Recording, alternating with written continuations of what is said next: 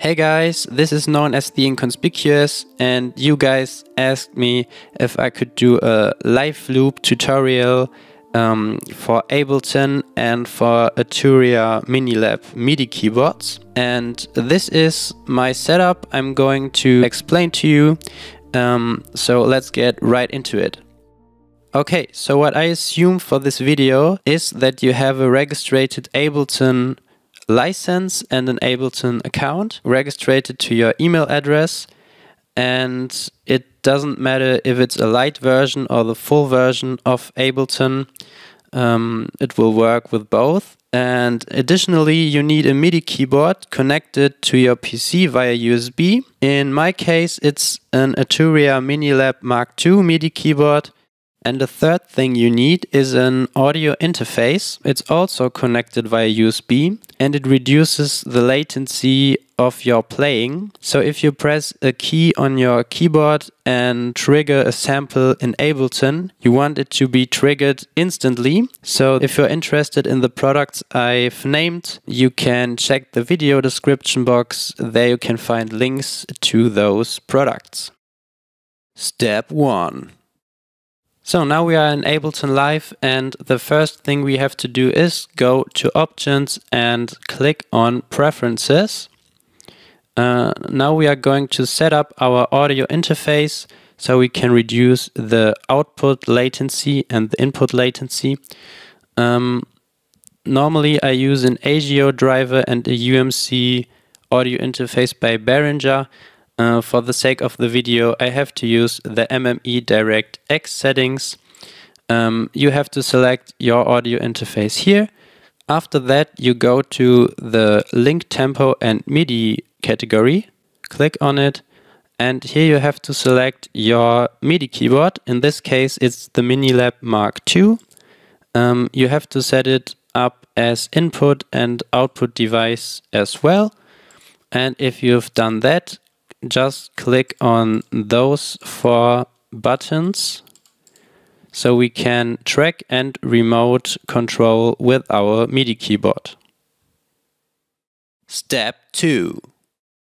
Okay, now I would like to show you how to create tracks in Ableton, especially MIDI tracks, uh, which are important to use in combination with your MIDI keyboard. Just right click here in the empty field and click on Insert MIDI track. And this is what pops up then. Um, now you have to choose an instrument on the left hand corner. Click on Instruments, Instrument Rack, and let's search for a piano, a grand piano. This one here, for example. Just click on it, hold it, and drag and drop it to the MIDI track. Now you can see the grand piano is chosen and now we can set up that we would like to have the Arturia Minilab Mark II as a MIDI control for triggering this instrument. So click on MIDI from all ins and select your MIDI keyboard, in this case Minilab Mark II make sure the audio is selected to the master output in Ableton. To check if it works, just press a key on your MIDI keyboard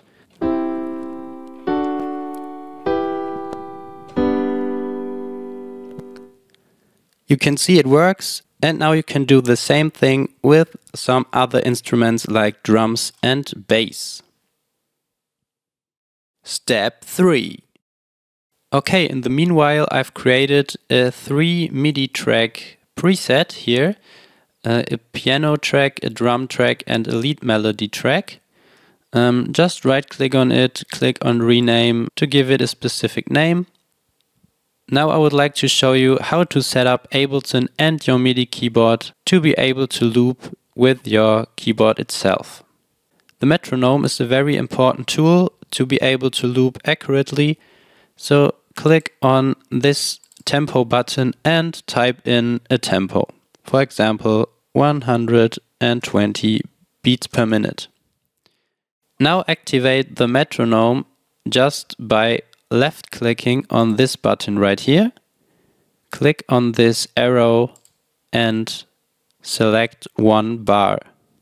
That means if you press a button on your keyboard, you have one bar to get into the loop. You should also select one bar on this button right here. This means if you press a drum pad on your MIDI keyboard, you have one bar to finish the loop and it automatically cuts it off afterwards. So now we have to activate one of our MIDI tracks with filled-in instruments.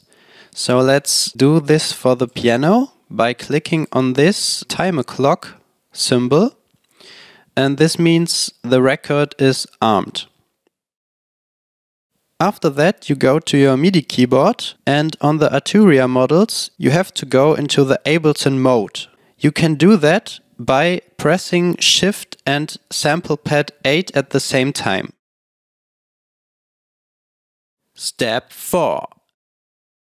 Okay, now we are in Ableton mode and that means you can activate and record a loop by pressing a sample pad on your MIDI keyboard. So we've armed the piano track and it's the first one in our Ableton project. By pressing the first sample pad, we are going to record. Let's do this.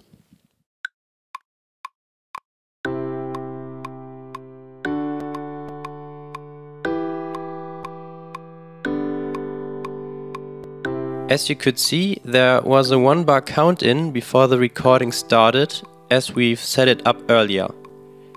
Right before I wanted the loop to be finished, I pressed the same pad again before the last bar of the loop ended. Ableton stopped the recording and is now playbacking it. The pad color turned from red to green. Great! So back to Ableton view I armed our second track, which contains our drums.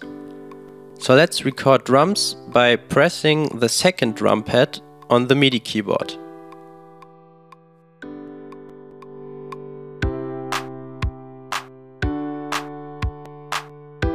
There's an option to arm your tracks just by using the Arturia MIDI keyboard. I'm going to explain how this works in another video. For this tutorial we are going to use our computer mouse to click on the arm button for each individual track, as shown earlier. Now we arm our third track and are going to press the third drum pad to finally record a lead instrument loop.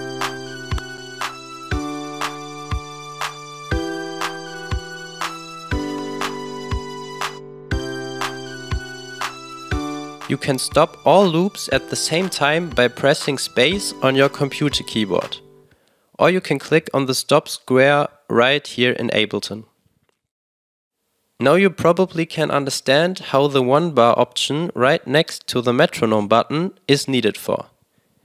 It allows you to finish the last bar of the running loop recording if you are going to press it during those four last beats. Awesome, you made it till the end. You are now able to live loop on your own. Via the info card you can reach a playlist with all of my live looping covers I've done so far. You can also find a link to my Patreon page where you can download the matching Ableton project to those covers, including all the settings and instrument presets. Have fun with it. Greetings and love. See you in the next video. Bye.